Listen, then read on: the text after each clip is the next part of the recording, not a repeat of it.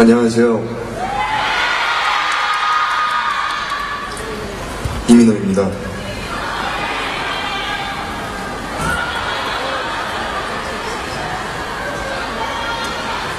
우선 너무 감사하단 말부터 해야 될 것 같아요. 아직 부족한 그것도 타국의 배우인 저에게 보내주시는 사랑도 감사한데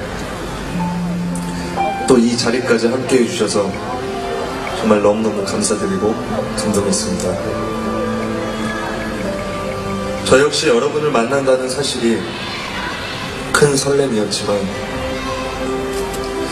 어떻게 해야 여러분께 즐거운 추억을 만들어 드릴지 저에게 이번 팬미팅은 새로운 시도와 큰 모험이었습니다.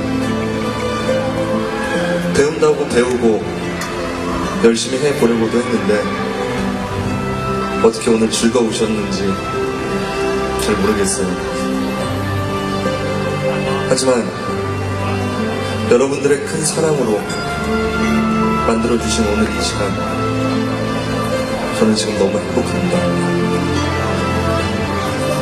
저에게는 평생 아름다운 추억으로 기억될 것 같아요.